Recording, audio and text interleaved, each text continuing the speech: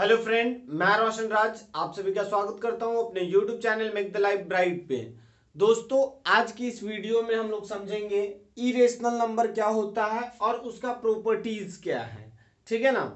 तो देखिए, अभी तक हम लोग रेशनल नंबर के बारे में पढ़ चुके थे और रेशनल नंबर में हम लोग ये देखे थे कि वैसे नंबर जिसे पी बाई क्यू के फॉर्म में रिप्रेजेंट किया जाता है, जहाँ पर P where P and Q are integers and Q is not equal to zero. और दूसरा एक और डिफिनेशन हम लोग देखे थे। दूसरा था टर्मिनेटिंग और रिपीटिंग के बेस पे। ठीक है? कि जो टर्मिनेट मतलब टर्मिनेटिंग भी हो या फिर नॉन टर्मिनेटिंग हो बट रिपीटिंग हो। पहला मतलब यहाँ पे हो सकता है कि टर्मिनेटिंग हो। अगर टर्मिनेटिंग के केस में देखा जाए तो टर्मिनेटिंग अगर है, तब तो वो रेशनल होगा ही।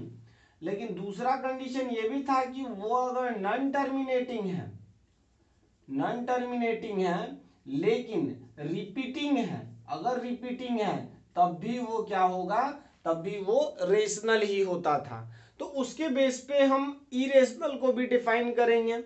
जैसे कि सेवन और एट में हम लोग पढ़ते आए थे कि इरेशनल नंबर क्या होता है? अगर पूछा जाता था तो which is not rational is called irrational इस तरीके से डिफाइन करते थे या फिर ये कह देते थे कि which can not express in the form of P by Q ठीक है? तो इस तरीके से हम लोग आंसर देते थे। तो आज टर्मिनेटिंग या रिपीटिंग या नॉन टर्मिनेटिंग इन इसके बेस पे हम लोग देखते हैं कि इसका डिफिनेशन क्या होगा।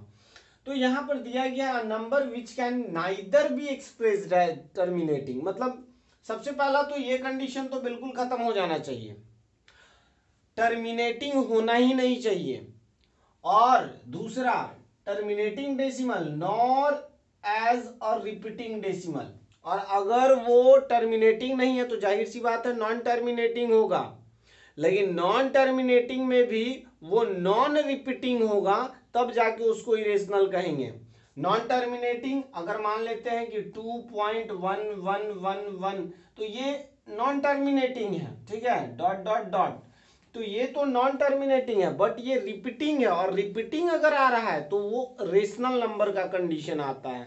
तो रिपीटेशन ना आए मतलब कि one point one zero one double zero one triple zero dot dot dot इस तरीके का कंडीशन अगर आ रहा है तो वो इरेशनल को रिप्रेजेंट कर रहा है.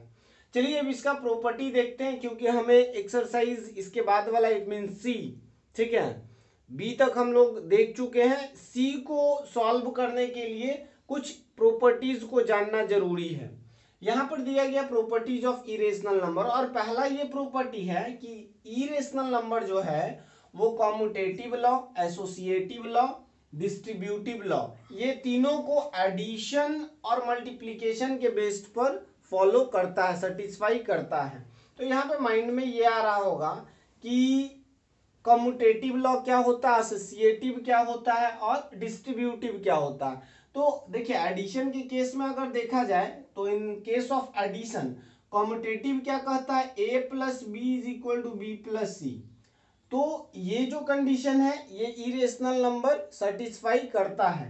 ये किसको रिप्रेजेंट कर रहा है? कॉम्यूटेटिव को, ठीक है? दूसरा है एसोसिएटिव तो एसोसिएटिव क्या होता है? ए प्लस बी ये ये दोनों को ब्रैकेट में कर दिया मतलब कि firstly we can add A plus B and then after the resultant of A plus B is added to C ठीक है? और ये किसके इक्वल होगा? A plus B plus C के। इसी को हम लोग कहते हैं एसोसिएटिव ठीक है? और तीसरा जो है हमारा डिस्ट्रीब्यूटिव डिस्ट्रीब्यूटिव भी बड़ा इजी ही है, ठीक है? वो भी कुछ इसी प्रकार से है, लेकिन वो अगर मल्टीप्लीकेशन के फॉर्म में चला जाए तो वो थोड़ा चेंजेस आ जाता है, ठीक है? मल्टीप्लीकेशन के फॉर्म में अगर आ जाए तो जैसे A into A B plus C अगर रहे बी प्लस सी रहे तो ये आ जाएगा A into B plus A into C ये डिस्ट्रीब्यूटिव प्रॉपर्टी है। देखिए, एक क्लोजर प्रॉपर्टी भी होता है। और क्लोजर प्रॉपर्टी क्या कहता है कि अगर, ठीक है, अगर दो इरेशनल नंबर है, हालाँकि वहाँ यहाँ पे सेटिस्फाई नहीं करेगा, ठीक है रियल नंबर के कंडीशन में वो सेटिस्फाई करेगा, लेकिन थोड़ा समझते हैं इरेशनल नंबर पे क्यों नहीं सेटिस्फाई करता है? तो क्लोजर प्रॉपर्टी क्या कहता है कि दो इरेशनल नंबर है, ठीक है? और वो दोनों इरेशनल नंबर पे कोई भी ऑपरेशन लगाने पर वो इरेशनल ही आए।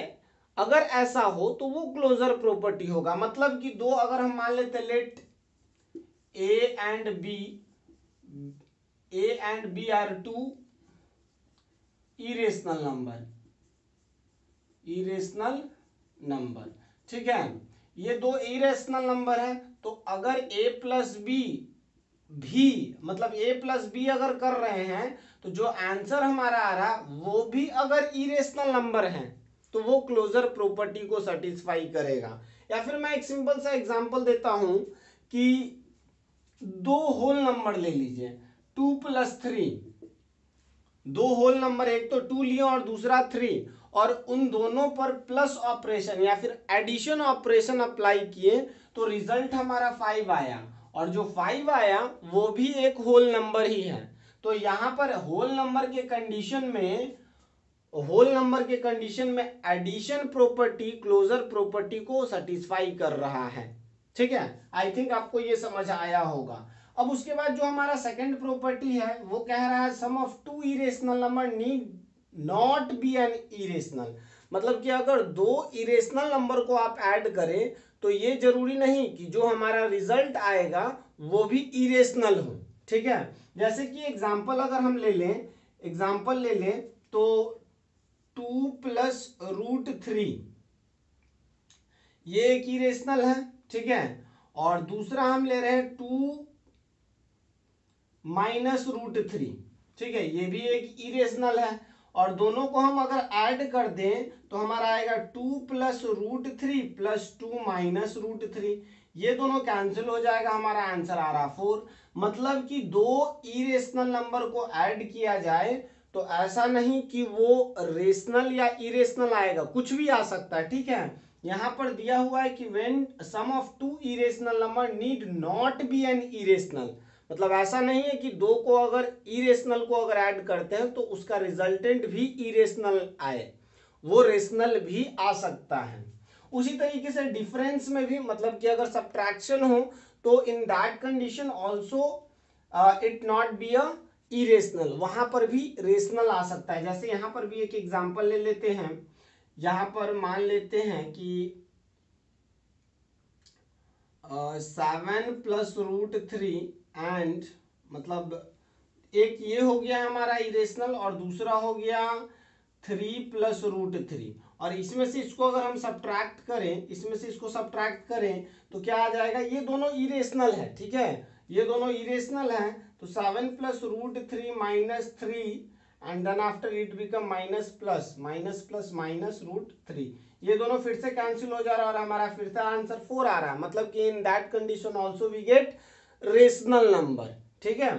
तो यहाँ पर भी रेशनल नंबर मिल जा रहा है। और प्रोडक्ट के केस में भी वही कंडीशन है कि ऐसा नहीं कि अगर दो इरेशनल का आप प्रोडक्ट कर रहे हैं तो वो इरेशनल ही आए। वो रेशनल भी आ सकता है। जैसे कि अगर हम एग्ज़ाम्पल लें, जैसे कि एग्ज़ाम्पल लें तो रूट थ्री अगर हम ले लेते हैं, ठीक है? और दूसरा भी रूट थ्री ले रहे हैं तो यहाँ पे दोनों क्या है? इरेशनल है। लेकिन इसका अगर प्रोडक्ट करेंगे तो root nine it means three और थ्री क्या है? रेशनल नंबर है। तो ये आई थिंक आपको समझ आया होगा। अब देखिए, यहाँ पर थोड़ा सा और हम लोग मतलब ये पहला प्रॉपर्टी देखें, दूसरा देखें, तीसरा देखते हैं अब, ठीक है?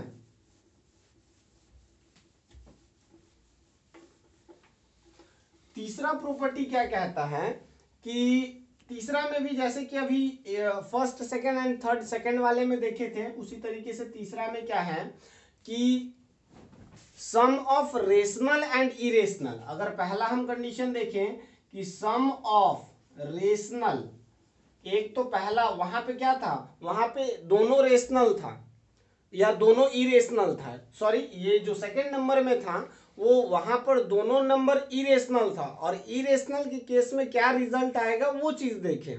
अब तीसरा में एक रेशनल और दूसरा क्या होगा? Irrational sum of rational number and irrational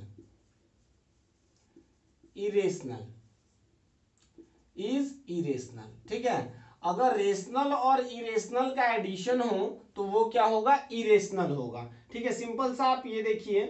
जैसे इस तरीके से हम लिख सकते हैं rational number plus irrational number is equal to irrational number is equal to irrational number ठीक है, एक एग्जांपल भी देख लेते हैं, ठीक है? मान लेते हैं ये टू रेशनल नंबर है और रूट थ्री इरेशनल नंबर है. तो हमारा रिज़ल्ट आ रहा है टू प्लस रूट थ्री तो ये भी क्या होगा? इरेशनल होगा. ठीक है ना? अब देखिए ये कैसे आपके आ, ये भी सोच रहे होंगे कि सर ये कैसे आएगा? तो देखिए टू तो आपको पता है लेकिन इसका वैल्यू फिर one point seven three two के आगे फिर बढ़ते चले जाइए। और उसको अगर ऐड यहाँ पर कीजिएगा टू के साथ तो वो कैसा नंबर आएगा? वो एक रिपीटिंग डेसिमल आएगा। और रिपीटिंग डेसिमल रिपीटिंग नंबर आएगा तो ज़ाहिर सी बात है वो इरेशनल ही कहलाएगा। अब देखिए दूसरा कंडीशन इसी के जैसा है ठीक है? ये इसका तो रेशनल और रेशनल नंबर और इरेशनल नंबर का difference difference of rational and irrational are irrational ठीक है? उसके बाद तीसरा जो है, वो प्रोडक्ट है। ठीक है? तो प्रोडक्ट रेशनल और इरेशनल का product of rational and irrational मतलब ये सम हो डिफरेंस हो प्रोडक्ट हो या फिर डिवाइड हो। तो ये चारों केस में रेशनल और इरेशनल होगा तो आंसर हमारा इरेशनल ही आएगा। ठीक है? Product of rational number and irrational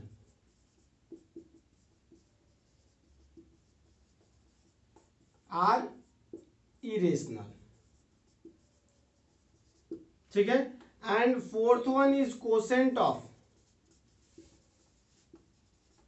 rational and irrational मतलब कि डिवाइड के केस में जो हमारा रिज़ल्ट आएगा, उसी को क्वेश्चन कहते हैं। तो जो रिज़ल्ट आएगा, वो भी हमारा क्या होगा? वो भी इरेशनल ही होगा। ठीक है? इरेशनल आर इरेशनल ठीक है?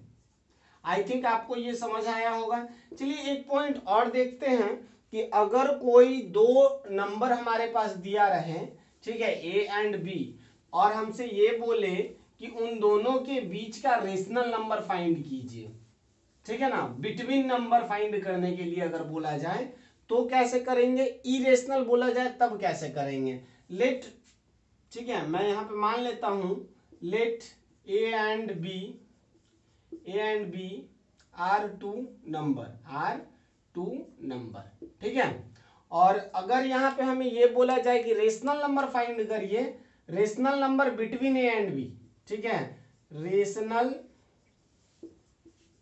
number between A and B A and B के बीच का रेशनल नंबर अगर फाइंड करना है तो क्या करेंगे? A plus B by two ठीक है?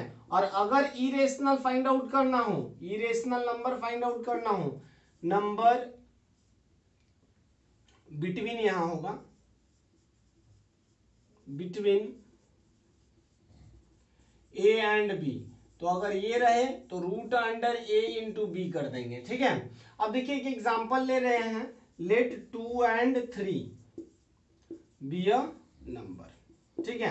हम टू और थ्री को बी अ रिक्वायर्ड नंबर लिख लेंगे बी अ रिक्वायर्ड नंबर मैं समझाने के लिए ये ले रहा हूँ, ठीक है एग्जांपल तो अगर इन दोनों के बीच का नंबर अगर पूछे तो रेशनल नंबर पूछ रहा है, ठीक है? रेशनल अगर निकालना हो तो two plus three by two it mean five by two it become two by five और अगर इरेशनल पूछ रहा है, ठीक है इरेशनल पूछ रहा है तो कुछ नहीं करना है directly